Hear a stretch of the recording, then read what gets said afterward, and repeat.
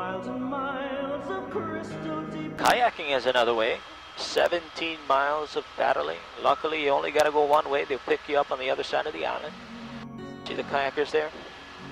That's only available in the uh, summer seasons, basically. It just started up about a, a month about a month ago, so spring, summer. It's the only time these waters will be calm enough for you kayak.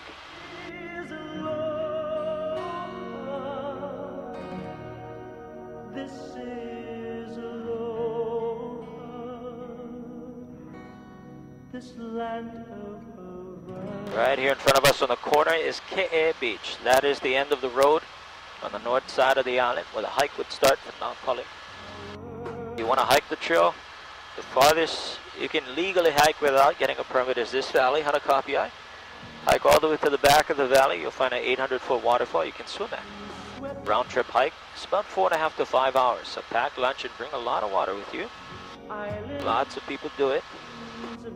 John, you guys tried it already? You guys did? Thought so. Saw you nodding your head back there. Scale of 1 to 10, what do you rank that as far as difficulty? 10 being difficult. Uh, about a six or a seven. That's about what I put in, yeah.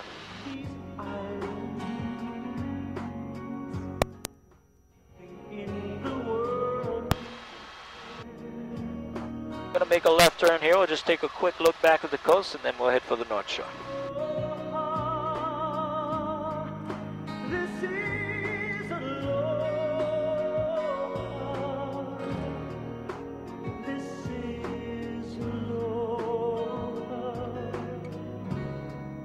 This land of Hawaii. Sarah, that's the waterfall back there. You can see it.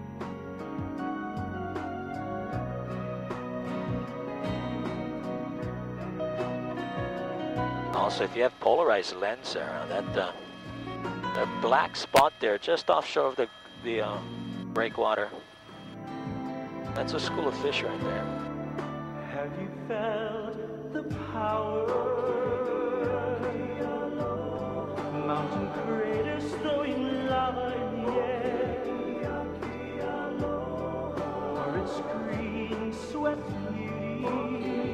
That's the Napali coastline, and here comes the North Shore.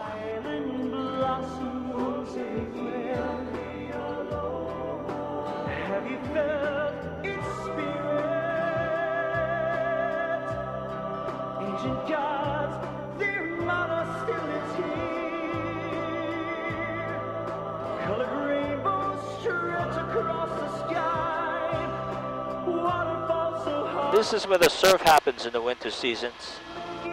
It's huge out here. This past winter, the biggest waves came in was about uh, 29 feet, not bad. This uh, sometimes we'll get some 50, 55 foot waves. That's monster waves. This area here on my right with these waves crashing on the reef, that's a famous surf spot called Tunnels. It was featured in a movie recently called Soul Surfer. It's a true life story of a little girl named Bethany Hamilton. She gets her arm bit off by the shark. That's where the shark attack took place in real life. This is where Pierce Brosnan lives, by the way. He's a full-time resident. Julia Roberts, she's got a place there. She comes often. She always gives me a call when she comes down. Just kidding. This land. All right, just as we pass this group of homes here, we'll head back into the mountains again.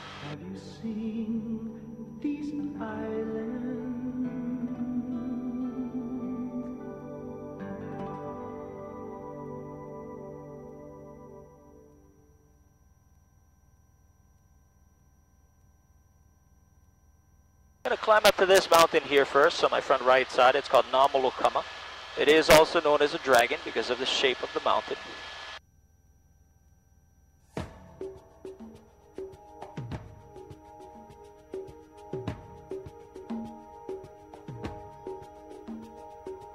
With the rolling waters, let the new come. All the suns and Ah, one of the last whales remaining. See it, uh, Sarah? Wherever born and raised, and I will stand until my dying I saw the disturbance in the water. I was like, that can't be. I Haven't seen a whale for about a week now. He ran away though. He heard us make a turn there, so. My word is deep as the The humpbacks arrive here every winter season. They come here from Alaska. we stand together. Usually here between uh, November through through April, sometimes up to May, as you see. Let the mountain rumble. Let the ocean rise. Let the wind come calling. Not sure if he'll come back up there. I will be there for you. Don't see him. I will be there for you. All right, we'll climb up towards this mountain again. This is uh, actually shaped like a dragon. This is the tail of a dragon here. The tail will curl up, forms that point. That's the shoulder.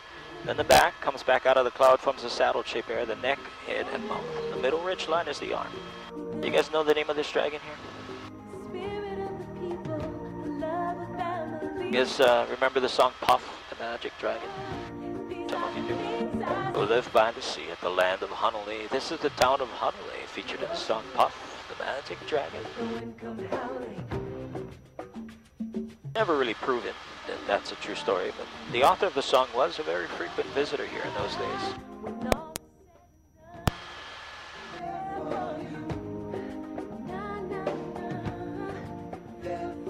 In the town of Hanalei, we got all these crops that grow in water beds. They're called taro. That was the main food source for the Hawaiian people. Makes a food product called poi. You guys tried that before, poi? Some of you have. You didn't like it very much, did you, uh, John? No? Yeah, most tourists don't. I personally grew up eating poi. It's a version of your mashed potatoes. I eat it all the time. I will be there for you. We are Ohana. I will be there for you.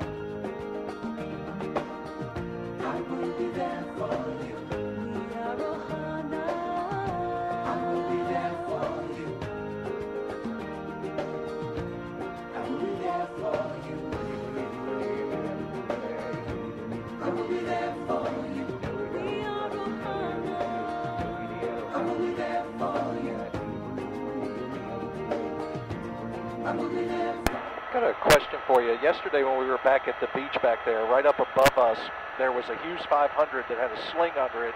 It looked like he was carrying rocks. Have you any idea what that would have been? Most likely trash. I know there's uh, they're servicing the whole entire trail that goes to Kalalau. Uh, so the uh, the uh, state employees that's been working on the trail uh, cleans up all their trash and all that, and the helicopter will come and haul everything out for them.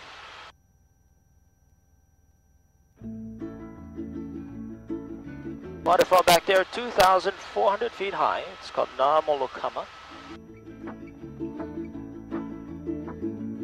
There's a place I recall, not too big.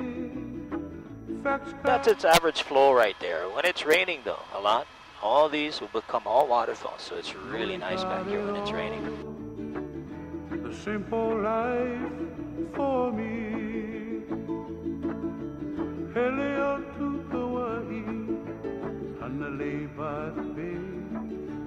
Wailua River Valley, where I used to play.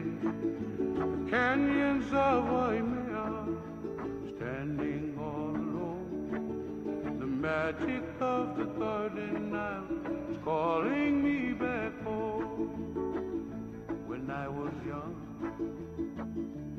not too smart. I left my home looking for a brand new start to find a place that's better still.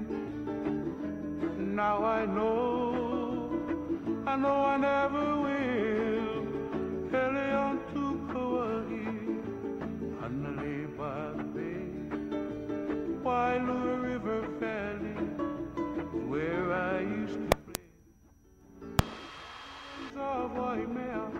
In the Hanalei Valley, this is pretty much what most of Kauai is like. Just mountains, valleys, rivers, lush, green land. Only about 10% of this island you can access using a vehicle. The rest of the 90%.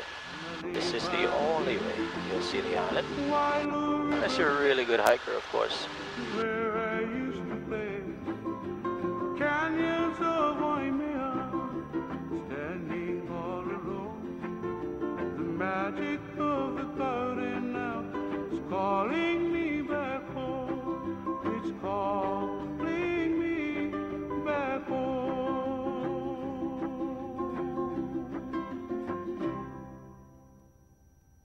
Coming up on the uh, left side here, Sarah, if you look real good on these mountains, you start to notice there's a lot of dead trees out here. It is actually like this all over the island. This is the evidence of the hurricanes that we've been through in the past. Luckily, our last hurricane here was 20 years ago. The date of it was pretty interesting. It was September 11th. You see all the dead trees there on the right. Although the winds in this hurricane sustained 145 miles an hour. When it hit Kauai, the wind gauge clocked in at 227 miles an hour. That's the second highest recorded wind speed in the world. Just four miles an hour short of breaking the world record.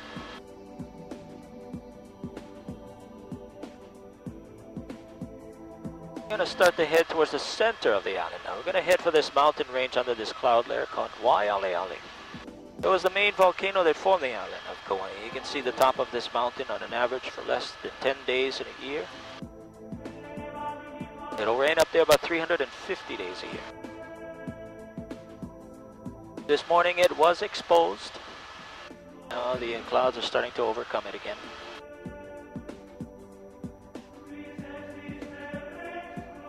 I'm going to take you into the crater of the mountain. It's not at the top like most people would imagine. Scientists said this island was about 10,000 feet tall once upon a time. The height today is 5,243 feet.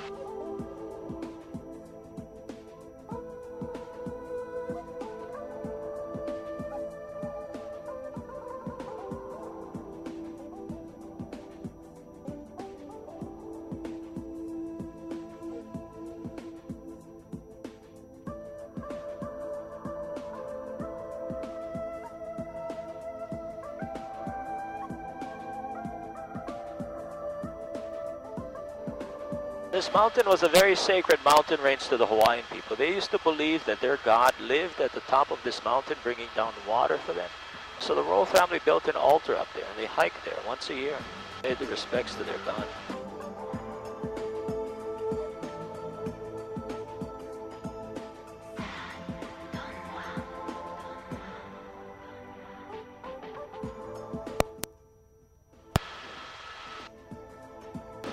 Alright, we are about to enter the heart of the the actual crater of Waialeale. Back here, I know it doesn't look wet at all right now, but this is known as the wettest spot on Earth. Because the average rainfall at the top of this mountain is 460 inches of rain per year. Back in 2006, 610 inches of rain. In 1981, almost 700 inches. So this mountain receives the highest average annual rainfall in the world.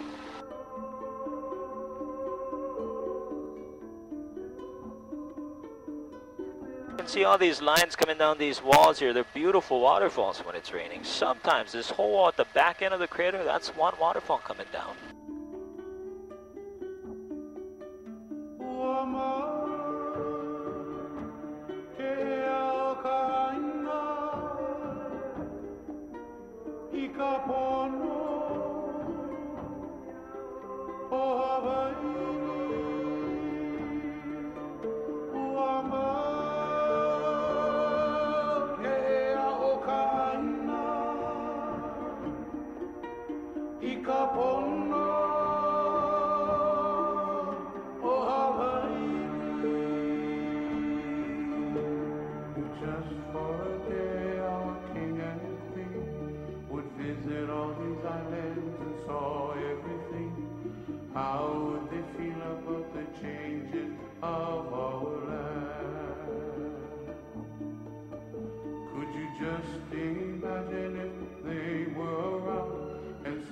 Highways on the sacred grounds?